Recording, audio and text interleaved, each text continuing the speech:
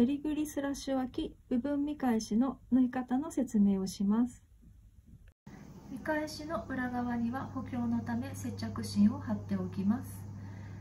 周りにロックミシンをかけます。身ごろと見返しのスラッシュ開き位置を中表になるように合わせます。スラッシュ開きの部分に合わせてミシンでこの字で縫いました。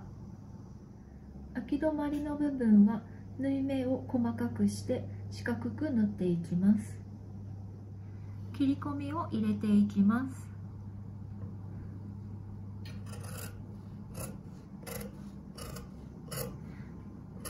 開き止まりの位置よりも 5mm くらい手前まで切り込みを入れます。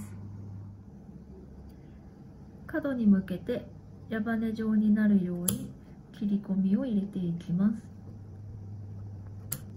角の部分は縫い目を切らないように気をつけます。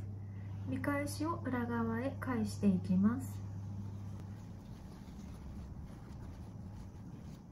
見返し側からアイロンで整えていきます。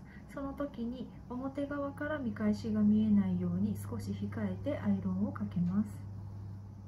表側からステッチをかけました。裏側にもステッチがかかっています。襟ぐりの見返し部分に 5mm の縫い代で仮止めをしました。襟ぐりスラッシュ開き部分見返しの完成です。